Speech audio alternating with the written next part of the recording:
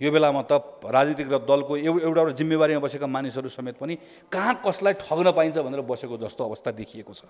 यहाँ त कस्तो हुन थाल्यो भने हामी सबैजना कहीँ न कहीँ चुकिरहेका छौँ कमजोर भइरहेका छौँ र हामी एकअर्काको साथी भइरहेका छौँ। मेरो कमजोरीलाई अर्कोले ढाकछोप गरिदियो अर्कोको कमजोरीलाई अर्कोले ढाकछोप गरिदियो। अब एकअर्कालाई ढाकछोप गर्ने होइन कि एकअर्कालाई प्रोत्साहित गर्ने आफ्नो जिम्मेवारी पुरा गर्ने यो ठाउँमा यसरी जानुपर्छ। अलिकति फरक ढङ्गले सोचौँ। चुनाव जितेर पहिलो पार्टी बनिएको छ। स्थानीय चुनावमा पनि पहिलो सङ्घमा पनि पहिलो प्रदेशमा पनि पहिलो माथि दाई हेरे दाई मन्त्री तल हेरे भाइ मन्त्री यता हेरे मन्त्री उता हेरे मन्त्री एउटा मुख्यमन्त्री भइसक्यो अर्को हुन लागेको छ। माथि पनि अब एक छ आठ महिना एक वर्षपछि फेरि काङ्ग्रेसकै मान्छे प्रधानमन्त्री बन्दैछ। जताततै चुनाव जितिएको छ जुन काङ्ग्रेसलाई भेट्यो भने पनि झोक्राएको छ बर्बाद भयो भनेको छ सकियो भनेको छ निराश भएको छ। काङ्ग्रेसले आज सङ्कल्प गर्न सक्नुपर्छ कि यो हामीले गल्ती गऱ्यौँ? त्यसैले योभन्दा अगाडिको यात्रामा चुनाव हारे हारिन्छ दुईपटक हारे हारिएला तिनपटक हारे हारिएला कुर्सीबाट झरेर चकटीमा बस्नु पर्ला धुलो टकटकाउँला बसौँला तर चुनाव अगाडि हारे हारिएला सबै पार्टी मिलेर एउटै पार्टी बनाएछन् भने पनि काङ्ग्रेसले कोहीसँग पनि चुनाव अगाडि भोट साट्ने काम गर्दैन कोहीसँग तालमेल गर्ने काम गर्दैन भन्यो भने सायद त्यसले अलिकति घाउमा मलम लगाउँछ होला। कुशासन छ व्यतिथि छ भ्रष्टाचार छ। नेपाली कङ्ग्रेस पार्टीले के भन्यो भने यो कुशासन व्यतिथि भ्रष्टाचार म हटाउँछु र तिमीलाई आजभन्दा भोलि राम्रो बनाउँछु।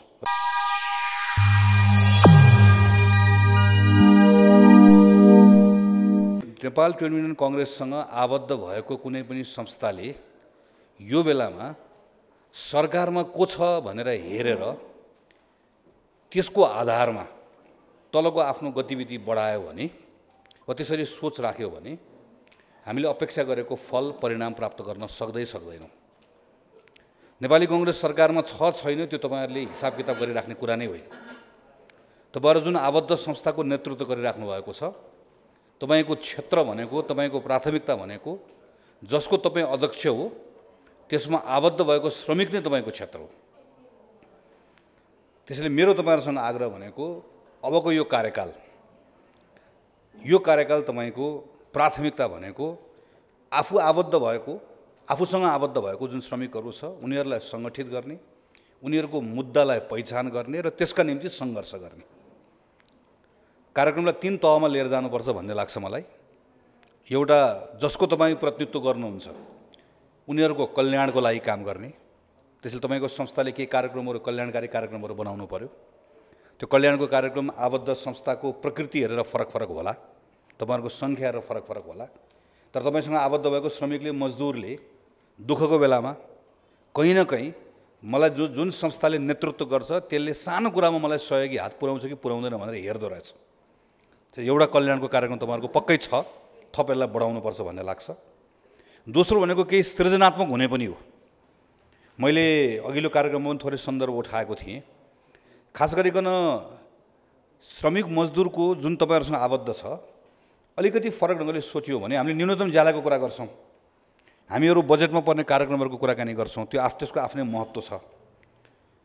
तर एकछिनलाई कल्पना गरौँ आफूसँग आबद्ध भएका श्रमिक र मजदुरको केटाकेटीहरूको विद्यालयको शिक्षामा वा उच्च शिक्षामा समग्रमा शिक्षामा र उनीहरूको उपचारमा।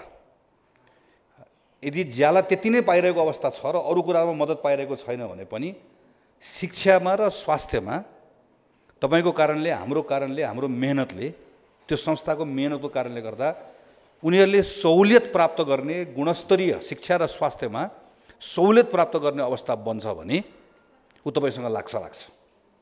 त्यसको ठुलो अर्थ रहन्छ। किन आखिर प्राप्त गरेको ज्यालाले कहीँ न कहीँ त्यसको ठुलो हिस्सा केमा खर्च हुने हो भने त्यही केटाकेटीको परिवारको शिक्षा र स्वास्थ्यमा खर्च हुने हो। यसमा चाहिँ केही सृजनात्मक बन्न सकिन्छ। यसको लागि चाहिँ माथिको सरकारले नै सबै कुरा गरिदिनुपर्छ भन्ने छैन। त्यो चाहिँ दोस्रो कार्यक्रम सायद तपाईँहरूको केही सृजनात्मक कार्यक्रम प्रत्येक संस्थाले गर्नुपर्छ भन्ने लाग्छ र तेस्रो र सबभन्दा महत्त्वपूर्ण भनेको सङ्घर्ष नै हो। आफ्नो हकका लागि सङ्घर्ष नै हो माग्ने नै हो लड्ने नै हो। त्यो माग्ने लड्ने कुराको सन्दर्भमा मैले अस्ति पनि भने म तपाईँहरूलाई सडकमा देख्न चाहन्छु। तपाईँहरूले यसरी हलमा बोलाएको कार्यक्रममा त म आएको छु आउँछु।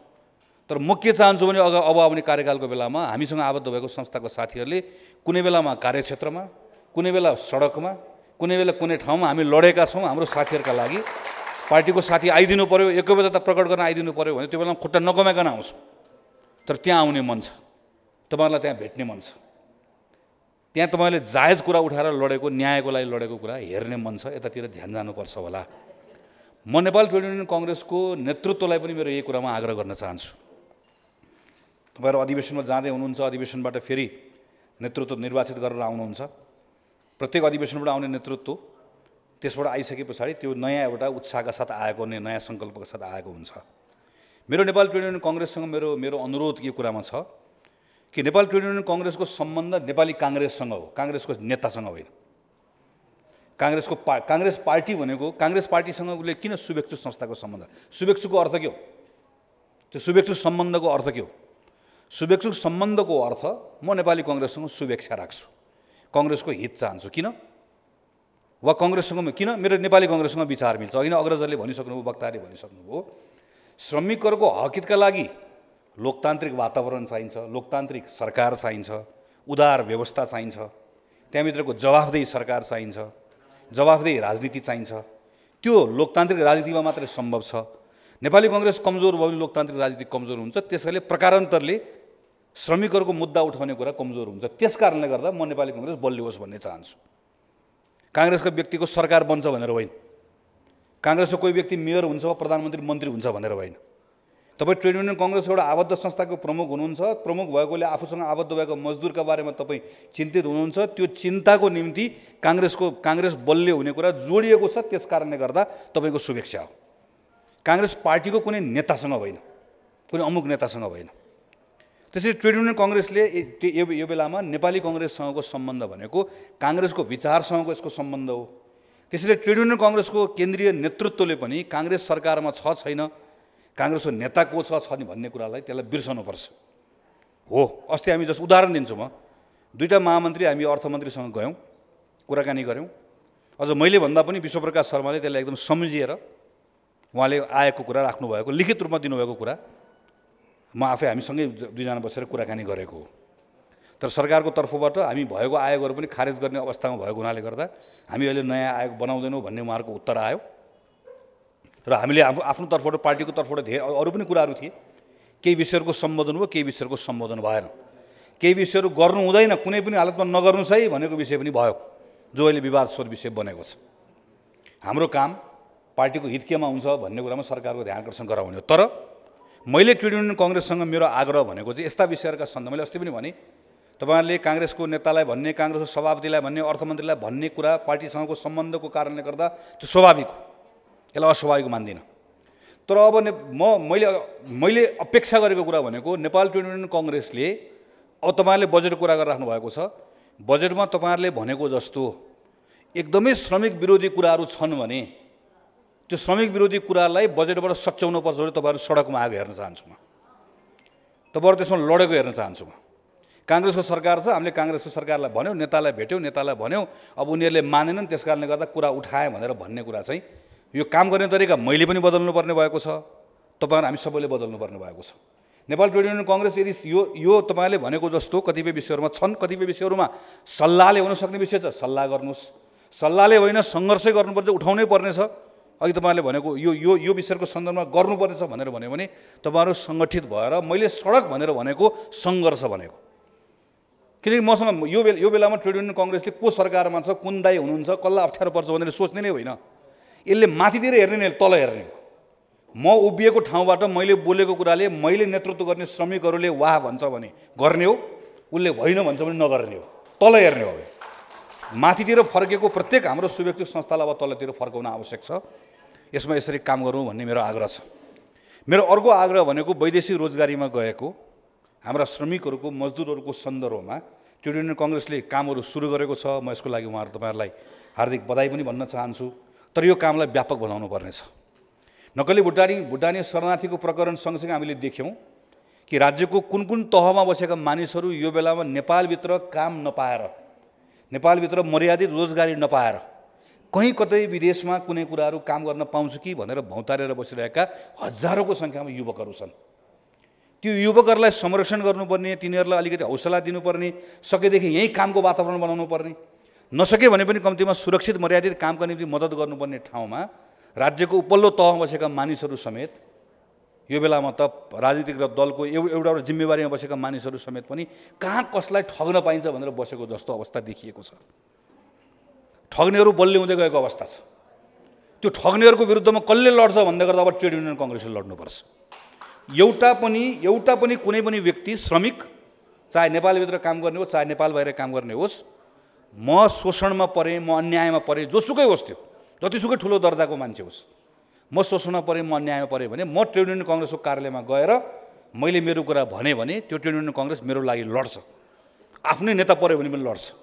अन्यायका विरुद्ध लड्छ शोषणका विरुद्ध लड्छ भन्ने स्थिति हामीले बनाउन सक्नुपर्ने छ हामी नेपाली कङ्ग्रेसको सांसद भएर हामीले यतिखेर गर्नुपर्ने काम यो बेलामा प्रतिनिधि सभाबाट अहिले तपाईँहरूले भन्नुभएको जस्तै त्यो श्रमिकको पक्षको कानुन कति बनाउन सकिन्छ होला? मैले अहिले वैदेशिक रोजगारको उदाहरण दिएँ। यही पाँच वर्षको कार्यकालभित्र वैदेशिक रोजगारीमा जाने मानिसहरू सकेसम्म नजानुपर्ने जानै पर्ने बाध्यता भयो भने उनीहरू शोषणमा नपर्ने अवस्था कसरी बनाउन सकिन्छ होला? काङ्ग्रेसबाट निर्वाचित भएर गएको एमपीले संसदभित्र यसरी सोच्नुपर्ने होला। काङ्ग्रेसबाट निर्वाचित भएर गएको मेयरले सात सय त्रिपन्नवटा पालिका छ। सात सय त्रिपन्नवटा पालिकाको पुष्कर दाई आउनुहोस् दाई म आग्रह गर्छु अहिले हामी पनि पर्सि अट्ठाइस सय उन्तिस गते एउटा कार्यक्रम गर्दैछौँ। सात सय त्रिपन्नवटा पालिकामध्ये तिन सय उन्तिसवटा पालिका काङ्ग्रेस जितेको छ। ट्रेड युनियन कङ्ग्रेसले पनि एउटा पत्र तिन सय उन्तिस पालिकालाई पठाओस्। हामी उहाँहरूसँग एउटा छलफल कार्यक्रम गर्दैछौँ। तपाईँहरूले दिनुभएको पत्रको आधारमा उहाँहरूलाई हामी पनि भन्छौँ।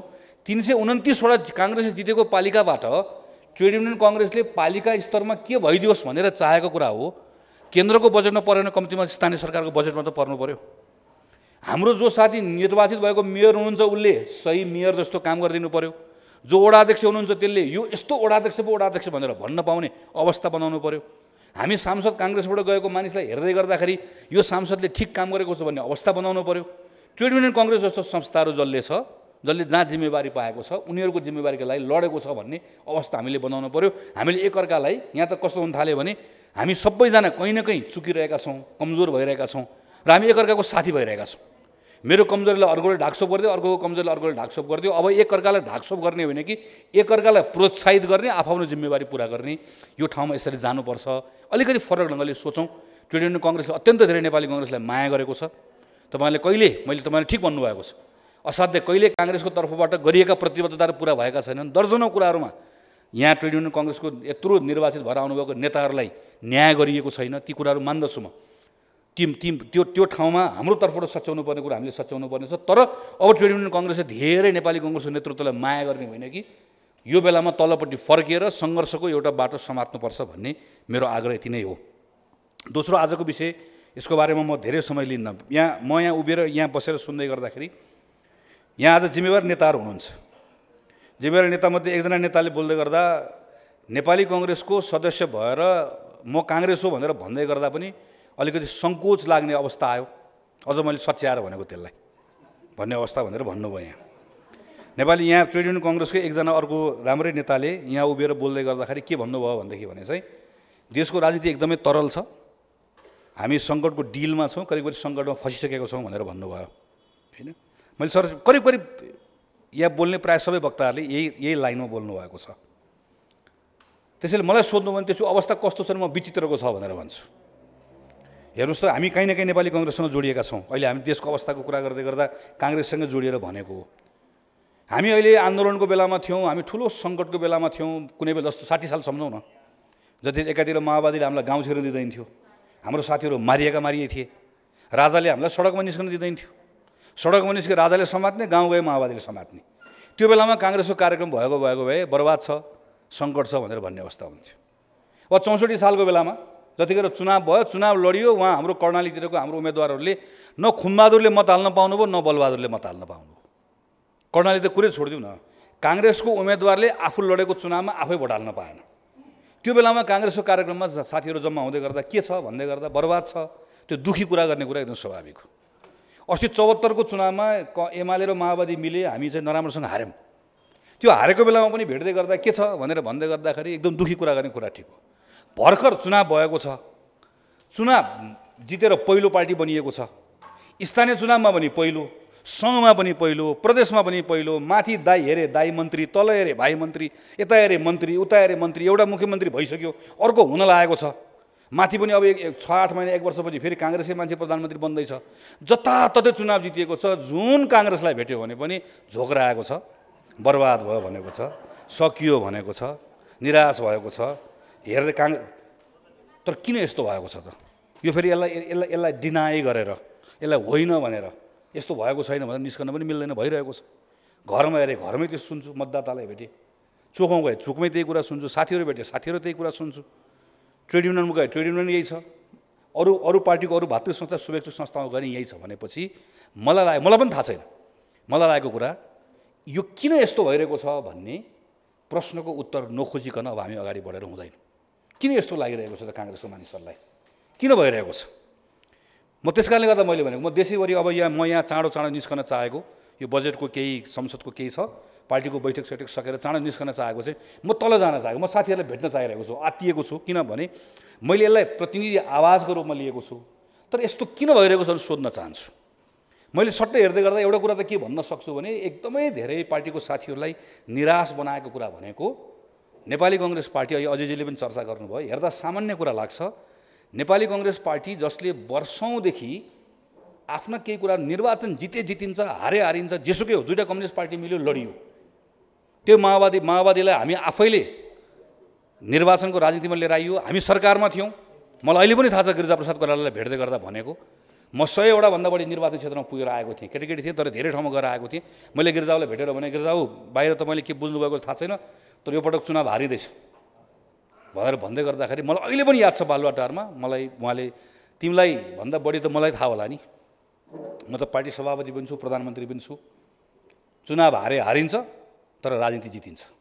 काङ्ग्रेसले यो बेलामा माओवादीलाई चुनावको राजनीतिमा लिएर आउने हारे हारिन्छ भनेर भनेको सम्झन्छु। काङ्ग्रेस भनेको चुनाव हारे हारिन्छ तर प्रिन्सिपलमा कम्प्रोमाइज गर्दैन। हामी आफ्नो सिद्धान्तमा निष्ठामा प्रति हामी आस्थामा कुनै सम्झौता गर्दैनौँ भनेर भनेको पार्टी। दुईवटा कम्युनिस्ट पार्टी मिल्ला कि? मधेसका पार्टी मिल्लान् कि? फलानु फलानु मिल्ला कि भन्ने डरले जुन चुनाव अगाडि तालमेल गर्ने कुरा गऱ्यौँ हामीले एकदमै धेरै विश्वास गुमाएको त्यहाँबाट सुरु भएको हो यो। म यति कुरा भन्न सक्छु। त्यसपछि जहाँ गल्ती भएको छ त्यहीँबाट सच्याउने हो।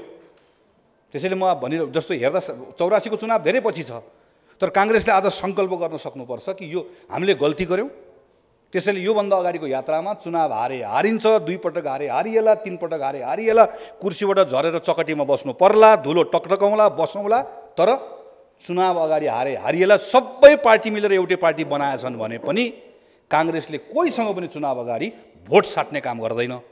कोहीसँग तालमेल गर्ने काम गर्दैन भन्यो भने सायद त्यसले अलिकति घाउमा मलम लगाउँछ होला। त्यो एउटा विषय मात्र हो यस्ता अरू थुप्रै विषयहरू छन्। अर्को विषय के होला? सायद मलाई लाग्छ कि नेपाली कङ्ग्रेसभित्रको अहिले थुप्रो साथीहरूलाई गएर सोध्न गयो भनेदेखि भने पार्टीका थुप्रै साथीहरूले मानव एकछिनलाई। मलाई अहिले यो बेलामा चाहिँ नेपाली कङ्ग्रेसको जसले नेतृत्व गरिराख्नु भएको छ म पार्टीको नेतृत्वसँगै निराश भएको छु। पार्टीको नेतृत्वले मलाई उत्साहित गरिराख्नु भएको छैन भनेर भन्नुभयो। म सोध्न चाहन्छु साथीहरूलाई भनेदेखि भने म पनि पार्टीको नेतृत्वभित्र पर्छु। पार्टीको नेतृत्वभित्र पार्टीको साथीहरूको भनाइ त्यो आउँछ। अहिले पनि साथीहरू सङ्केत गर्नुभएको छ कतिपय कुराहरूमा। तपाईँले ठिक ढङ्गले काम गर्न सकिराख्नु भएको छैन भनेर भन्नुभएको छ। पा र त्यो ठिक ढङ्गले काम गर्न सकिरहेको छैन भने आम साथीहरूले भन्नुहुन्छ र काम गर्न नसकिरहेको अवस्था पनि छ। त्यो बेलामा सर्लक्क हामीले छाडिदिएर पार्टीभित्र राम्रो हुन्छ भनेदेखि पनि त्यो बेलामा छाडिदिनुपर्छ। तर पार्टीको महामन्त्री भएर मैले यो कुरा भन्दै गर्दा मेरो पार्टीको सभापति यो कुरा भन्न तयार हुनुहुन्छ कि हुन्न भन्ने प्रश्न पनि सँगसँगै आउँछ। आउँछ। किन आउँछ भनेदेखि भने पार्टी अप्ठ्यारोमा परेको छ हेर्नुहोस्। पार्टी अप्ठ्यारोमा परेको बेलामा यो बेलामा तल गएर सोध्ने हो। सोध्दै गर्दाखेरि जे साथीहरूले भन्छ तपाईँहरूले यो बेलामा साथी भनेको तल आम पार्टीका मानिसहरू हुन्। तपाईँहरूले यो यो बेलामा पार्टीको यो कारणले गर्दा तपाईँहरूले तालमेल गर्नुभयो। त्यस कारणले गर्दाखेरि पार्टीलाई समस्या भयो। अब तालमेल नगर्ने। तपाईँहरू नेतृत्व काम लाग्नु भएन त्यसैले पार्टीलाई समस्या भयो। नेतृत्वले छाडिदिइहाल्ने। जहाँ समस्या भएको छ त्यो समस्याको औषधि त्यहीँ खोज्नुपर्छ। त्यसपछि मात्रै पार्टी ठिक ठाउँमा आउँछ। होइन भन्दै गर्ने के त? तपाईँ नै भनिदिनुहोस् न मलाई। चुनाव भर्खर लडियो चुनाव जितियो।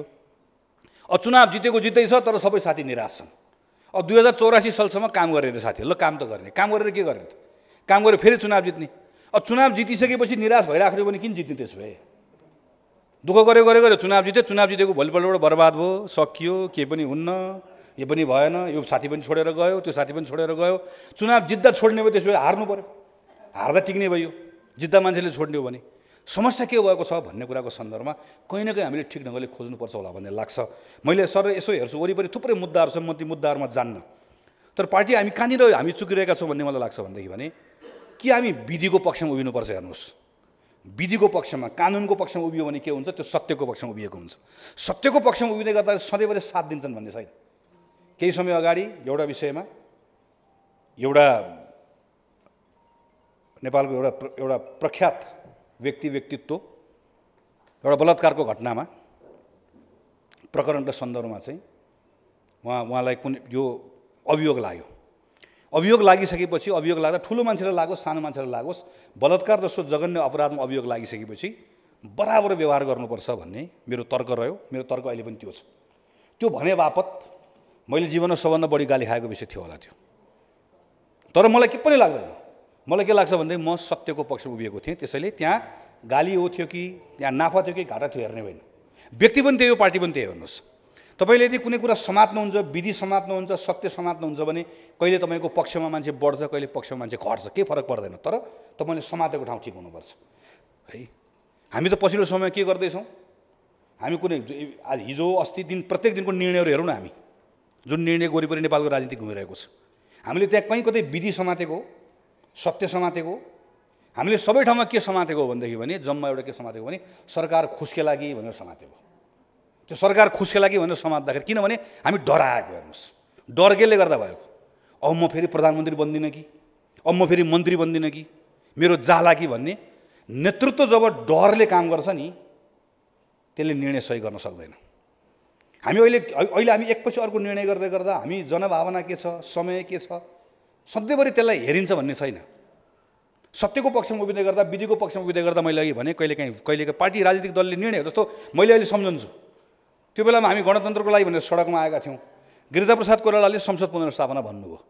गिरिजाप्रसादले संसद पुनर्स्थापना भन्नुभयो चाहिँ हामीलाई के लाग्यो भने ए गिरिजाले भनेको कुरा यो चाहिँ हामी क्रान्तिकारी।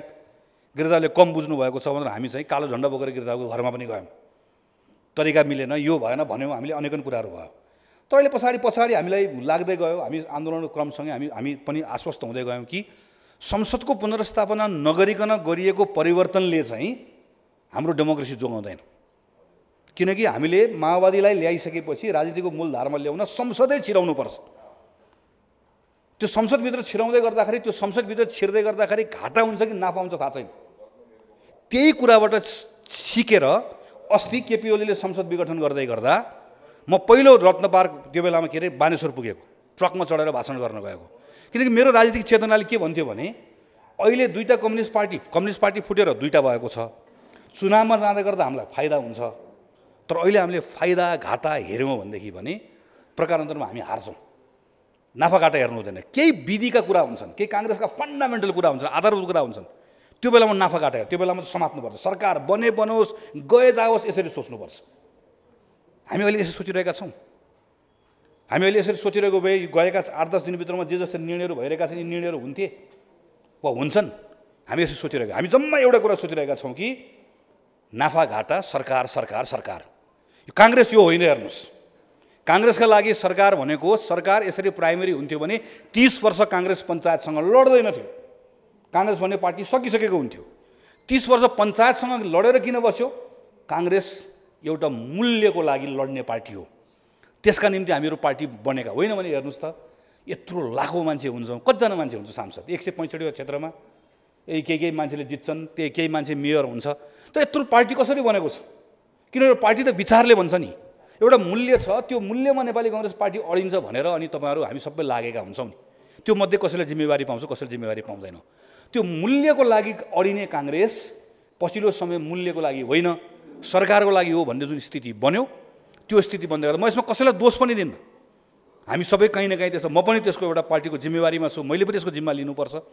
हामी कहीँ न कहीँ हामी कहीँ न कहीँ यसमा चुकेका छौँ र यसलाई यहाँनिर एउटा हामीले सच्याउने काम गर्नुपर्छ भन्ने मलाई लाग्छ। आजको दिनमा नागरिकलाई सोध्यो भने हेर्नुहोस् कुशासन भ्रष्टाचार व्यतिथि यो तिनवटा कुराहरू आजित छ। र अघि नै महासचिवले एउटा महत्त्वपूर्ण कुरा उठाउनु भएको छ कि होप। पार्टीसँग मान्छे जोडिने भनेको आशाले जोगिने रहेछ हेर्नुहोस्। एउटा कुनै पनि राजनीतिक दल तपाईँ नयाँ भन्नुहोस् पुरानो भन्नुहोस् जोसुकै भन्नुहोस् त्यसले भविष्यप्रति आशावादी बनायो भने त्यो मान्छे मान्छे आउँछ हेर्नुहोस्। कुशासन छ व्यतिथि छ भ्रष्टाचार छ। नेपाली कङ्ग्रेस पार्टीले के भन्यो भने यो कुशासन व्यतिथि भ्रष्टाचार म हटाउँछु। र तिमीलाई आजभन्दा भोलि राम्रो बनाउँछु राम्रो समय दिन्छु राम्रो अवसर दिन्छु भनेर आश्वस्त पार्न सक्यो भने यो पार्टीको घर भरिन्छ हेर्नुहोस्। नयाँ मान्छे आउँछन् हेर्नुहोस्। नआउने कुरै छैन। काङ्ग्रेस कमजोर हुने कुरै छैन। यो पार्टी हामी यो पा यो पार्टी यो पार्टीको पुनर्निर्माण सम्भव छ सम्भव छ हामी बनाउने बेललाई। तर कसै गरेर मात्र सम्भव छ भने यो कोठाभित्र मान्छेलाई पस्न मन लाग्ने हामीले बनाउनु पर्नेछ। उसले हाम्रो अनुहार देख्दै गर्दा हामीलाई हेरेर भविष्यप्रति आश्वस्त होस् न। एउटा आमा जसले अघि नै चर्चा गर्नुभयो खेला दाईले भन्नुभयो पुष्कर दाईले भन्नुभयो आफ्नो छोरीको उदाहरण दिएर भन्नुभयो भतिजीको उदाहरण दिएर भन्नुभयो देश छोडेर बाहिर ना आफ्नो आम बच्चालाई एयरपोर्ट पठाउन लागेको आमाले आज रोक्न नसकिएला। तर नेपाली कङ्ग्रेसको मानिस मानिसहरूलाई देखेर गएर यसले यिनीहरू यी केटाकेटीहरू यी यी साथीभाइ सब लागेर देशमा यिनीहरूले काम गर्छन् काम गरेर यस्तो अवस्था बनाउँछन्। मेरो अस्ट्रेलिया गएको छोरछोरीले एक दिन फर्कने वातावरण बनाउँछन् भन्ने भरोसा मात्र दिन सक्यो भनेदेखि भने अडिहाल्छ नि मान्छे हामीसँग। तर हामीलाई देख्दै गर्दा त्यो भरोसा जोगाउन सक्ने अवस्था बनाउन सकेन भने मान्छे हामीसँग अडिन्न। जम्मा यति कुरा हो भन्ने लाग्छ मलाई। त्यो भरोसा दिन सक्ने स्थिति हामीले बनाउनु पर्नेछ।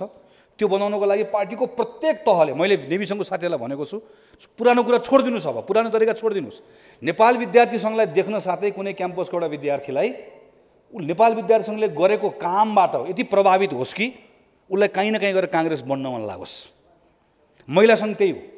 सबैले अब काङ्ग्रेससँगको सम्बन्धलाई पातलो बनाउनु पऱ्यो काङ्ग्रेसको नेतासँगको सम्बन्धलाई पातलो बनाउनु पऱ्यो काङ्ग्रेसमा हेर्नुहोस् मेरो मेरो आग्रह छ म नेपाली कङ्ग्रेस पार्टीभित्र अबैलाई सुधार्ने भने काङ्ग्रेसभित्र हामीले भएको गुट सबै भत्काउनुपर्छ र जम्मा काङ्ग्रेसमा दुईवटा गुट छ भन्ने भनौँ जम्मा दुईवटा गुट काङ्ग्रेसमा अब।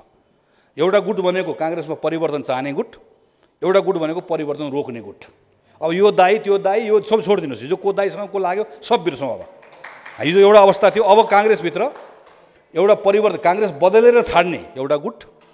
होइन बदल्न मिल्दैन कहाँ दाईहरू रिसाउनुहुन्छ भनेर भन्ने हो भने त्यो अर्को गुट। जो दाईसँग लाग्छ दाईसँगै जाने जो आउँछ त्यो सँगसँगै जाने। गर्दै जाने काम गर्दै जाने। यो बाटो बनाउन सकियो भने यो पार्टी बाँच्यो हेर्नुहोस् पार्टी बचाउने हो। पार्टी बचाउने कुराको सन्दर्भमा म फेरि एकपल्ट धन्यवाद दिँदै ट्रेड युनियन कङ्ग्रेससँग मेरो अत्यन्त ठुलो भरोसा छ। एकदमै धेरै ठुलो मैले पटक पटक भनेको छु विश्वासले भनेको नयाँ मान्छे काङ्ग्रेसमा कि नेवी सङ्घले ल्याउँछ? कि पार्टीको तल्लो इकाइले ल्याउँछ कि ट्रेड युनियन? अरू ल्याउन सक्दैन है। ट्रेड युनियन कङ्ग्रेसले एकदमै धेरै नयाँ मान्छेलाई पार्टी प्रवेश गराउन सक्छ। काङ्ग्रेस बनाउन सक्छ। त्यो क्षमता तपाईँहरूसँग छ। त्यो क्षमताको प्रयोग गर्ने कुरामा हामी हाम्रो ठाउँबाट तपाईँहरूसँग काम गर्न तयार छौँ। नयाँ आएको आबद्ध संस्थाको सम्पूर्ण साथीहरूलाई फेरि एक शुभकामना। ट्रेड युनियन कङ्ग्रेसको अधिवेशनको पनि सफलताको कामना गर्छु र तपाईँहरू सब मिलेर ट्रेड युनियन कङ्ग्रेसको लिडरसिप तह तहको लिडरसिपको तर्फबाट काङ्ग्रेसलाई बलियो बनाउने त त्यसका निम्ति ट्रेड युनियन कङ्ग्रेसको आन्दोलनलाई सङ्घर्षलाई थप अगाडि लिएर जाने कुरामा लाग्नुहुन्छ भन्ने विश्वास व्यक्त गर्दै मेरो कुरा टुङ्ग्याउँछु।